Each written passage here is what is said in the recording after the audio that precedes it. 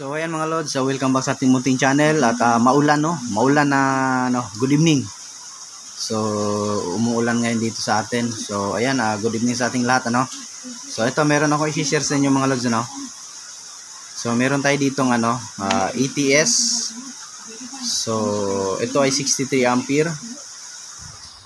So ayan, ah, feed ah, feed yung brand ano, dual power automatic transfer switch FTS 63 2 2P so 2 pole po yan ano yung meaning. Uh, rated operating 63 ampere uh, rated operating voltage as uh, AC 400 volt uh, rated frequency 50 to 60 hertz. Uh, ETS level CB class uh, standard uh, production date. So bago lang no? So problem nito mga lods ay nasira ano? So yung sa solar side yung nasira, ah, na-overload ni customer ano. So hindi siya nagpaalam sa amin na nagdagdag pala siya ng load. So kaya yan, ah, ito yung tinamaan at saka yung breaker natin sa ano, sa EPS ng ating uh, DE ano, ah, DE na 5 kilowatts, ah, yung output breaker ng ano, pinaka EPS or emergency power supply, ay yung yung natamaan ano, it, ito na ito na ano, ito sa itong side na to no. Kasi ito na side dito is ito yung ano natin yung grid no. Ah, dito yung nakakonek yung grid natin and then ah, dito naman isa ito na yung ano nakaparallel na load na no? So ito na yung ano ito yung normal power and then ito yung ready power. So it means normal power mga loads ano? Ay ah, kapag ka may kuryente both side ano? So ito yung ano dito pupunta yung ano natin. Yung ating ah, re- parang reserve ano? Or sa solar. So dito po yan siya pupunta and then kapag ka in case na nag-shutdown yung system natin ay dito pupunta so ang tanong ah, kapag ka nasira ba ito ay marirepair pa so ito yung ano natin so ang ano ko naman ay nare-repair lang naman din to no So, baka may mga ganito kayo, wag nyo itapon. Ah, sayang, ma- magagamit pa po yan. So, wag lang tamaan yung itong ano, wag lang tamaan itong pinakamotor. Ay, m- medyo ano na yon So, eto, open natin, tingnan natin. So, ayan na, may nasunog ano, yan oh. So, open natin tong case para makita natin kung ano ang laman nitong ah, ATS. Welcome sa Ordic TV. Please like and subscribe. Para lagi kayong updated, just click the bell. Mga lods, na-open na natin. So, ito lang yung laman ni ATS. Ah, bali, dalawang ano lang, no? Ah, breaker na 2 pole uh, Denril type. So, ayan. So, ito lang yung ano niya. Kumbaga, it, ito yung ano, ah, pinaka-automatic niya, no? So, gaganyan dito, tapos iikot lang yung ano natin, ano, dito. Tatamaan to siya dito ng ating ano, parang parang gumaganyan-ganyan lang siya. So, ganyan. Kapag ka tinatamaan, ano. So, ito lang yung papalitan natin kasi ito lang naman din yung nasunog, ano. So, ito lang yung nasunog. So, i-resolve lang natin yung ano. So, meron tayong breaker dito, ano, na 63 din. Ayan, oh, 63 ampere. Ayan, din real type. Santry yung brand. So, ayan. Ah, continue lang tayo. Re-resolve ko muna to. Lilipat natin dito sa ating ano, ipapalit na breaker ano. At ah, tayo ay ano, ah, mag-testing kung gumagana at ah, tester tayo kung may output dito no kabilaan. So, ayan, continue lang tayo ulit. So, ayan mga lods, nala- dikit na natin yung ano natin. So, yung sa live, no? Live at saka yung neutral detector dito sa ating pinakamotor. Ah, para power supply po yan siya, no, ng ating motor. Kabilaan yan sila meron. So, ayan, ah, naidikit na natin. Nalagay na natin. no? So, ito, ah, balik natin yung takip niya. And then, magte-testing tayo.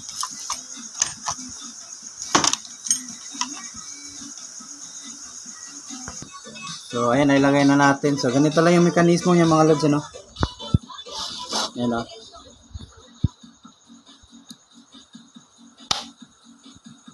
So, sa pagkaiikot, no?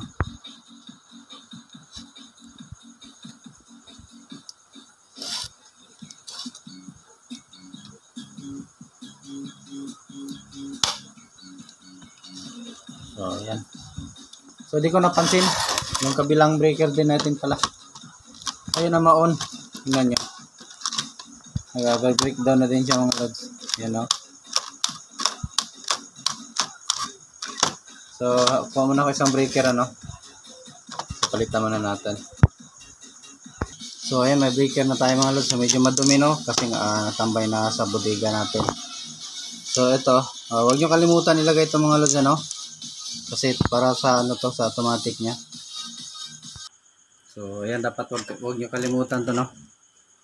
So, dito to. Ilalagay. Ganyan. Kasi ito, dito.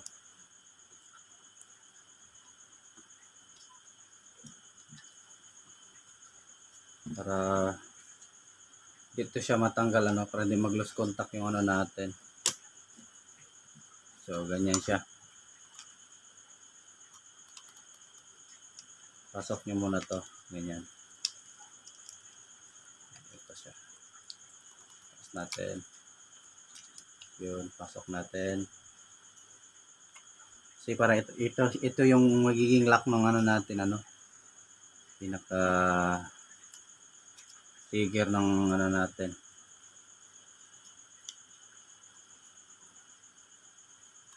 Ayun.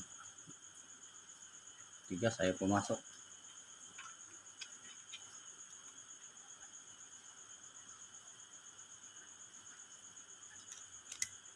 Ayun.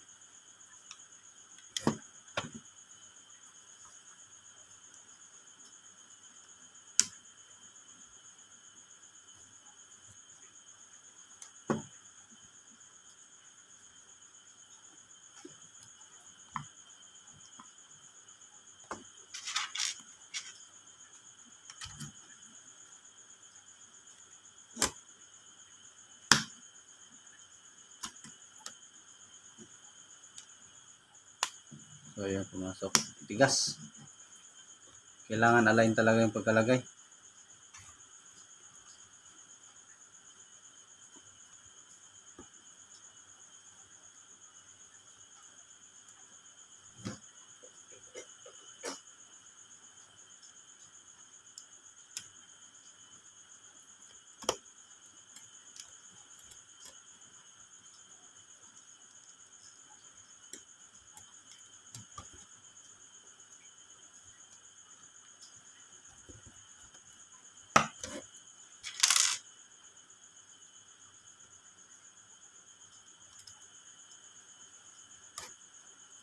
Hinahaya na lang ano yung ano natin.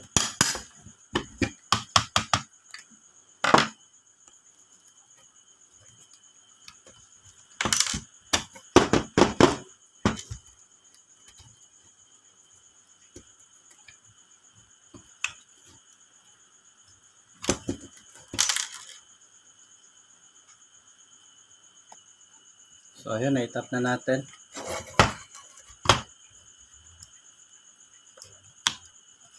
So, ganyan yung mangyayari sa kanya mga lods, ano? Kapag ka mag-automatic. So, itong isa na naman yung tataas. Itong isa. Yun.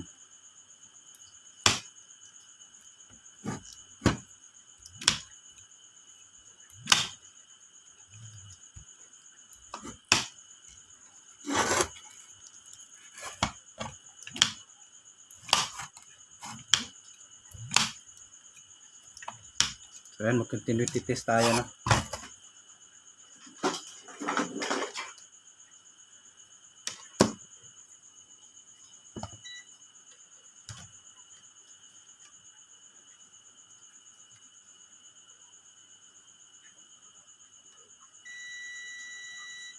So, yan, okay breaker natin.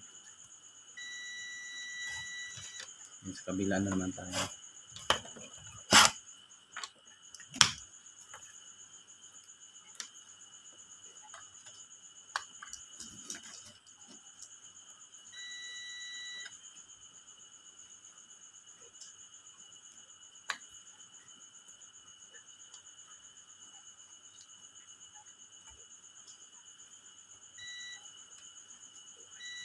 Ayun, okay na. Takpan na natin.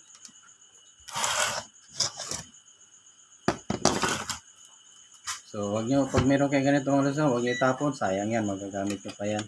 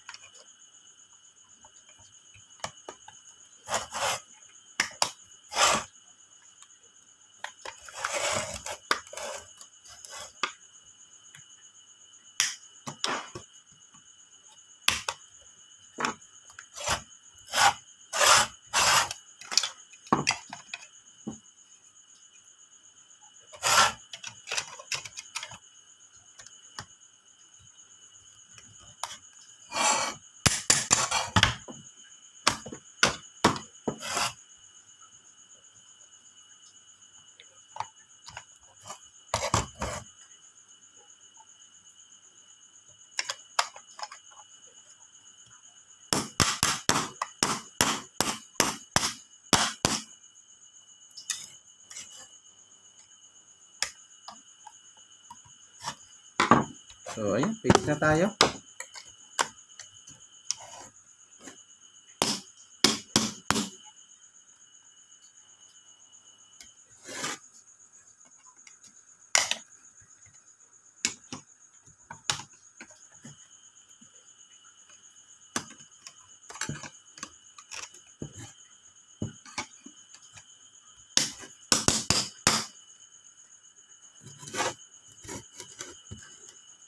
Ayan, okay na.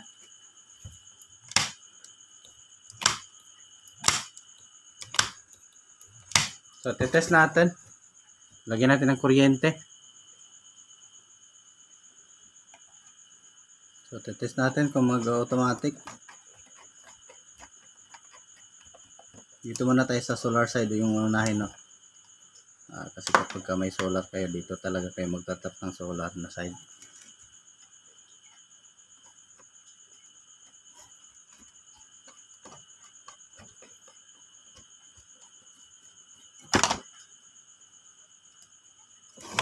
So, test natin.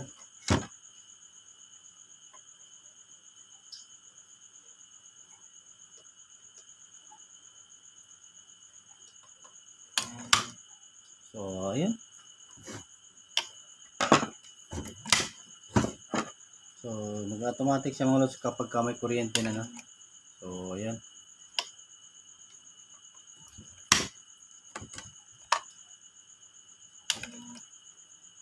So, test natin sa kabila.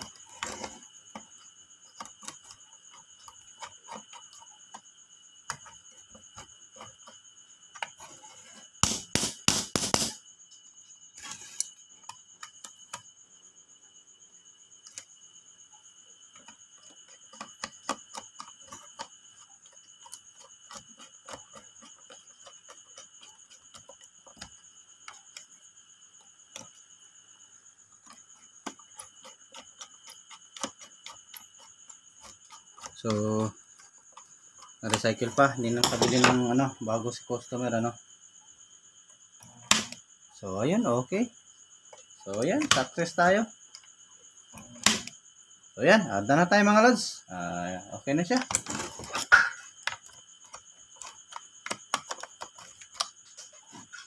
Kung may ganito kayo, tago nyo talaga. Magagamit nyo pa yan.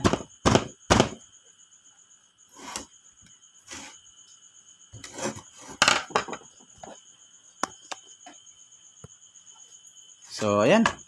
Thanks for watching mga lods, ano? So, done na tayo. Okay na to. Balik na natin to bukas sa mayari.